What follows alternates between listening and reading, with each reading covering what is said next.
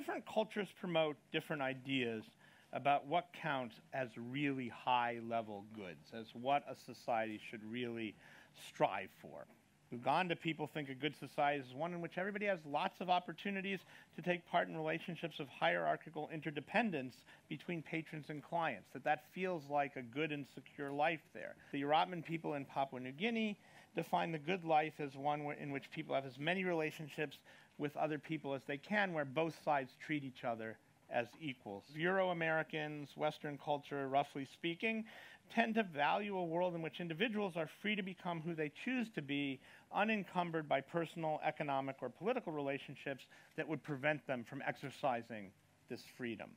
These are just three examples. I could have given you other examples of different versions of the good, but I really just want to establish that if you look across cultures, you can see that people are defining the good in different ways. What should these differences mean for our moral lives?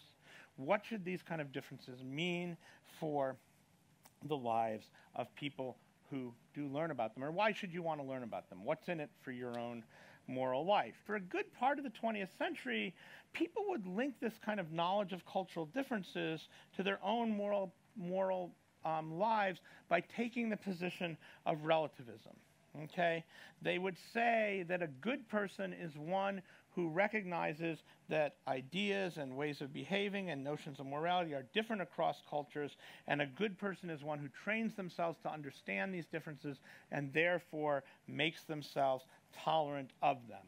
A good person is the kind of person who could look at the Azande saying that the granary collapsed on the person underneath it because the person underneath it had been attacked by a witch and could realize that that's a perfectly reasonable way of thinking in Zande in the Zande world, and that it, it, can le- it can give you a way of managing death that's very productive in that world, and therefore you can be tolerant of those different ideas. That was this notion of relativism that you learned about other cultures so you could make yourself a more tolerable person. Okay? Of course, as I also mentioned, relativism wasn't just about saying other people's ideas make sense in their own terms. It also said similar things about their moral understandings. It said you can't judge other people's moral understandings and judgments on the terms of your own culture's moral ideas, right? So, for instance, let's take a society in which marriages link families, and families are the key building blocks of the political world, and therefore marriages are major political events in societies that are like that, and there are many of them around the world, marriages tend to be arranged by adults, not by the younger people getting married. And that's thought to be morally appropriate. Indeed, it's thought to be morally wrong and selfish for young people to marry on the basis of their own feelings. It says that marriage is so important to the political structure, it has to be managed by the parental generation, that's morally right. It would be immoral for people just to act on their own feelings, which can be passing, after all, as we know, by the divorce rate. Okay? The argument from a relativist would argue that only when you judge arranged marriages from the point of view of a culture that puts individuals and their free choices first, the only if you judge arranged marriages from the point of view of a culture where the highest good is individuals getting to make their own choices for themselves, would you judge arranged marriages in that other culture as morally bad? In fact, you might call them, as they're often called in England, forced marriages, right?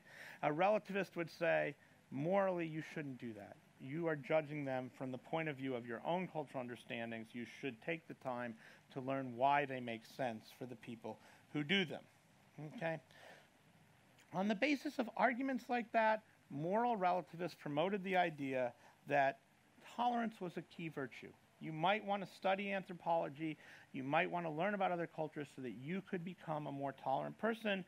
That would be a good moral project. That is a good moral project. Fewer and fewer people these days are attracted to this kind of full blown relativism. There's been a kind of hardening of moral attitudes, at least at their edges, you know, at least when it comes to looking at people from other cultures. More and more these days, people, even educated people, even some anthropologists, want to be able to identify and condemn practices they think are evil, even if they have to make those judgments that a practice is bad across cultural boundaries. Boundaries. More and more people want to be able to morally judge people living in societies other than their own. They're not willing to make the relativist well, there's a philosopher named John Cook who said that one of the things about moral relativism was it forced you into position of what he called moral recusal. I can't judge them, I recuse myself because it's not my culture. Fewer and fewer people are willing to accept the demand for moral recusal that comes with being a relativist.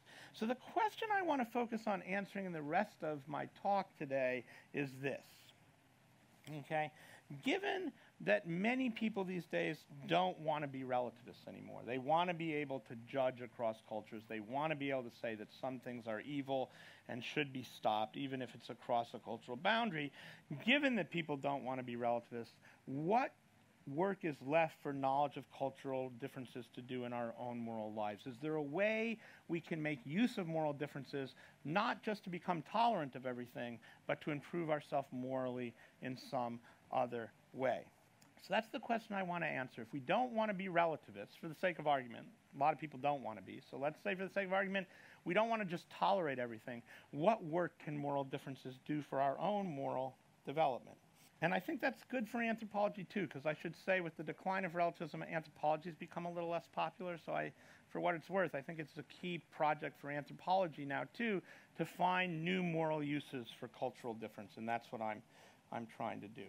Okay? In working to, okay, so what I want to argue is that, and I'm going to be abstract for a minute, but this will get concrete very quickly, is that even if a broad based cultural relativism doesn't work for people anymore, it doesn't give moral difference a role to play in our lives anymore that people are attracted to, I still think that the study of the various ways cultures define the good can help us find a role for cross cultural differences in our moral life. Okay, even if we don't want to be full-blown relativists and say we're just going to tolerate anything that makes sense to other people, I think that studying the ways people define the good still can help us develop our own moral understandings. And in, in working to substantiate that point, I'm going to suggest two different ways that a focus on different notions of the good is not the same thing as relativism. Okay, I'm, I'm, I'm going to try to convince you that looking at the kind of differences I looked at in the first half between different versions of the good isn't quite the same thing as what relativists used to be up to. And that it's for this reason, I think, that focusing on differences in, in definitions of the good across cultures can help us think about how cultural differences can matter for our own lives. So, first, I want to note a crucial way in which a focus on cultural understandings of the goods leads us to dwell on very different kinds of differences than the relativists dealt with.